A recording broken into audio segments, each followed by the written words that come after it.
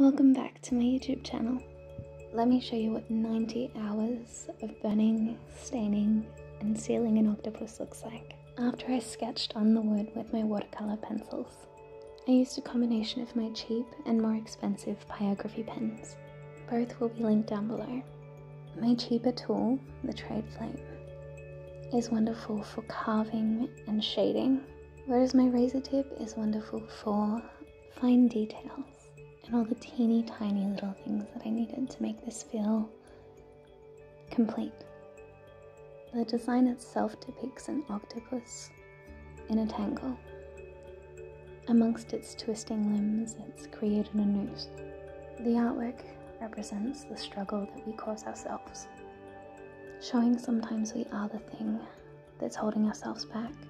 60 hours of burning went into this each scale and line all burnt. But my art is best known for its colour. Using a mixture of the Feast Watson's wood stains and different layers of water, I was able to create the contrast and texture of the octopus skin. By allowing the wood stain to dry between layers, I could add depth, character, the different tiny bits of skin, trying to create tension. In the artwork, I used warm tones for the shadows and cool tones for my highlights. Art is a constant push and pull, making choices that evoke emotion unconsciously art is movement. I had the most trouble with deciding the background. I wanted it to feel like a fog, like the deep sea after a storm.